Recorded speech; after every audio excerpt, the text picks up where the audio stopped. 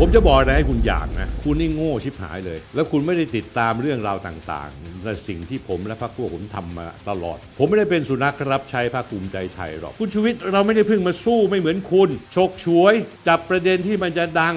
ขึ้นมาแล้วหาแสงใส่ตัวคุณเอง เพื่อคุณดูเท่ แต่จู่ๆคุณก็มารับงานชาวบ้านเข้ามารับงานเอกชนอย่าง BTS เพื่อฟาดคนที่ประมูลสายสีส้มได้ คุณชูวิทย์ครับนี่เป็น สันดานที่แท้จริงของคุณหรือเปล่า คุณรู้ตัวคุณไหมว่าคุณนี่เลอะเทอะมาก คุณอย่ามาทะลึ่งกับผม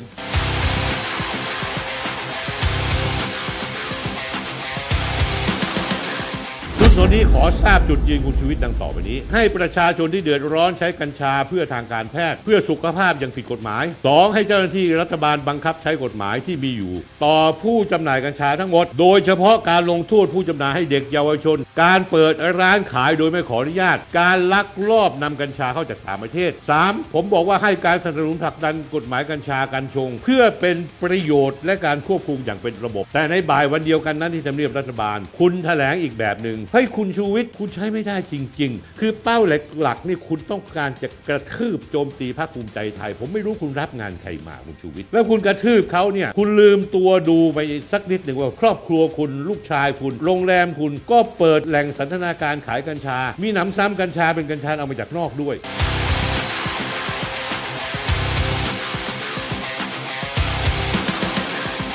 อนุทินเอาเงินไปปิดปากใคร มันถึงมีสุนัขรับใช้ออกมาไง แล้วสุนัขตัวนี้มันแก่แล้วด้วย ผมอยู่ในคุก ผมอยู่กับไอ้จุดจุดจุดๆผมอยู่ห้องไม่ใช่ VIP ผมอยู่ลำบาก แต่ใครมันอยู่ VIP มันอยู่ห้องแอร์ดูทีวีได้สูบบุหรี่ได้ทำไมผมต้องรู้แต่เรื่องธุรกิจสีเทาทำไมผมพูดเรื่องรถไฟสายสีส้มบางไม่ได้เหรอทำไมต้องตีเส้นเพราะอะไรเพราะผลประโยชน์ไง คุณหมายถึงใครคุณชูวิทย์คุณแน่จริงคุณเอ่ยชื่อมา คุณอย่าขี้ขลาดตาขาวคุณชูวิทย์คนอื่นกลัวคุณแต่ให้ตายหาเลยนี่ต่อหน้าฟ้าดิน ผมไม่เคยกลัวคุณเลยแม้แต่นิดเดียว เพราะผมรู้ขี้รู้ไส้คุณมานานแล้ว ไม่ต้องห่วงว่าเราจะเป็นศัตรูกัน ก็เป็นแม่งจนวันตายนะคุณชูวิทย์วันนี้เราตัดขาดกันไปเลย ไม่ต้องมีตามสบายชูวิทย์แฉมาเลย แฉให้ถูกนะถ้าคุณแฉผิดนะคุณเจอกันในศาลแน่นอนงานนี้ เมื่ออยากเป็นศัตรูกับผม ผมจะจัดให้ คุณเปิดมาผมอยากตายหมูเงิน ผมจะดูว่าผมเนี่ยตายร่วมคุณหรือคุณตายอยู่คนเดียว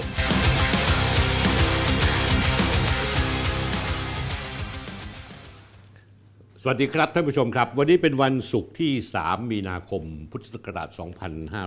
2566 รายการวันนี้จะเป็นรายการพิเศษจริง ๆ ท่านผู้ชมครับ ไม่มีการโฆษณาขายของนะฮะโอลงโอเลี้ยง ร้านขายสันปังไม่มี เรื่องเดียวเลยวันนี้ วันนี้ผมจะพูดถึงคุณชูวิทย์กมลวิสิทธิ์หลังจากที่คุณชูวิทย์เนี่ยพาดพิงผมมาหลายเรื่องแล้วแล้วก็พูดจาค่อนข้างที่จะ ไร้สาระ แล้วก็ก้าวล่วง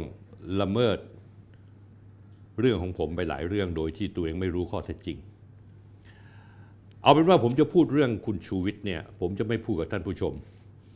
ผมจะพูดเรื่องนี้กับคุณชูวิทย์โดยตรง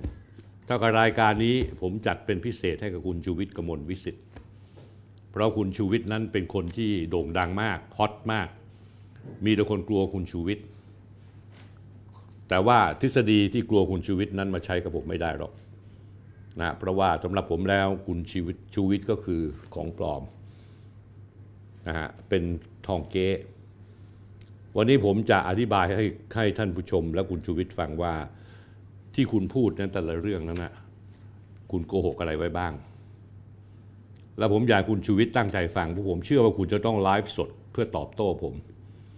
แต่คุณตอบโต้ในประเด็นที่ผมตั้งคำถามถามคุณด้วยนะครับ คุณอย่าไปตอบโต้ ด้วยวิธีการมโนมาตลอดในชีวิตของคุณ